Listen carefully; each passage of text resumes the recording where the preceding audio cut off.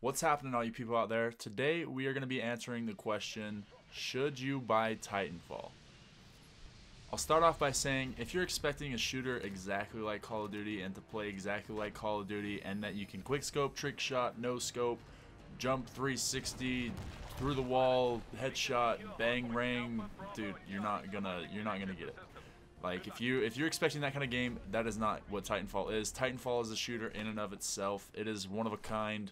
It is one of the funnest games that I've personally ever played. So even though it's not like Call of Duty, it is definitely fun. It is it's still fun. So don't worry about that. But basically, if you're expecting that same exact Call of Duty shooter, you're not gonna get it.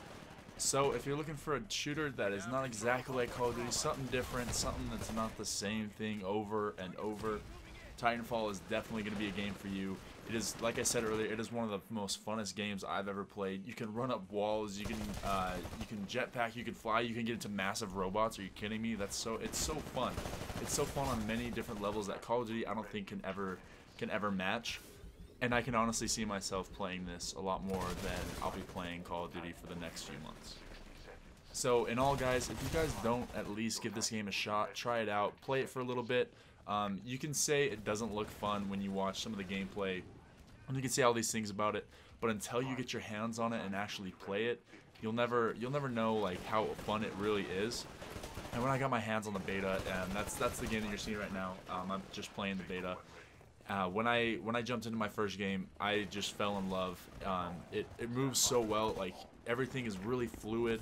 The gunfights are super realistic. There's action around every corner. Like you turn a corner, and there's either a grunt, a player, a titan, anything. There's always things blowing up. It's it's freaking awesome. It's everything that you could want in a shooter, guys. And um, like I said, if you guys don't at least try it out, you're missing out. And um, honestly, I think this game could definitely be going places.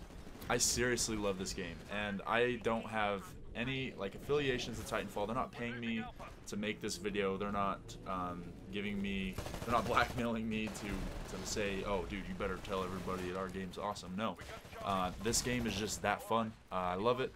And um, I hope you guys uh, will try it out.